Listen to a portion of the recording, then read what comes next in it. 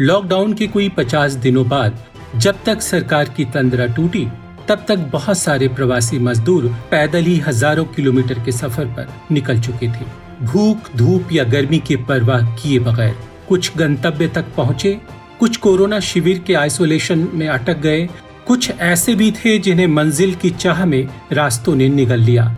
एक अनुमान के मुताबिक, देश में इस वक्त कोई आठ करोड़ ऐसे प्रवासी मजदूर हैं जो रोजी रोटी की तलाश में दर बदर होकर अपने घर से दूर निकल पड़े थे।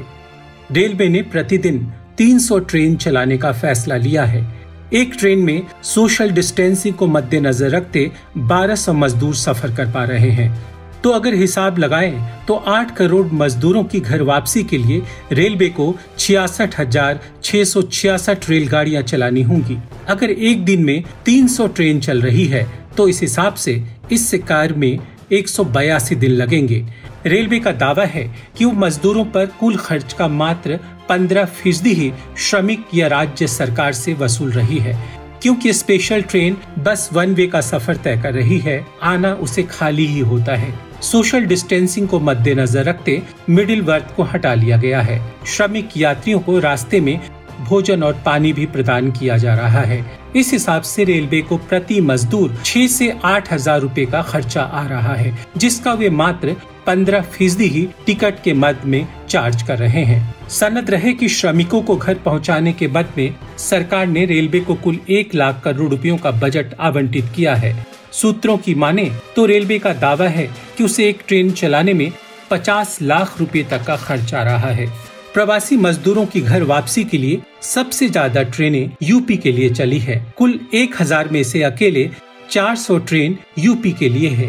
जब इस बात पर सवाल जवाब हुए तो रेल मंत्री की ओर से स्पष्टीकरण आया कि छत्तीसगढ़, झारखंड और उड़ीसा जैसे राज्यों की ओर से स्पेशल ट्रेन की डिमांड ही नहीं आई। इस पर तीनों राज्यों के मुख्यमंत्रियों ने पहले से जारी हुए अपने वीडियो दिखा दिए, जिसमें उन्होंने ये डिमांड पहले ही की थी। उल्टे उन्होंने रेल मंत्री पर देश को गुमराह करने के आरोप भी जड़ दिए। लॉकडाउन और स्वाइन फ्लू के आसन आहटों के चक्कर में जब पोल्ट्री मालिक बड़े पैमाने पर अपनी मुर्गियों को मार रहे थे तो उनसे पूछा गया कि वे आखिर ऐसा क्यों कर रहे हैं। तो जवाब मिला कि जब बाज़ार में चिकन की कोई कीमत ही नहीं रही जितना पैसा वे मुर्गियों को दाना खिलाने पर खर्च कर रहे हैं, इसे बेचकर उन्हें इसका आधा भी रिकवर नहीं हो रहा।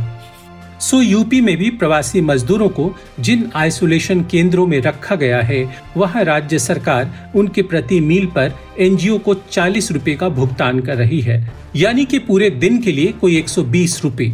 वही राजस्थान जैसे राज्य इस मद में एनजीओ को तीन सौ रूपयों का भुगतान कर रही है प्रति श्रमिक।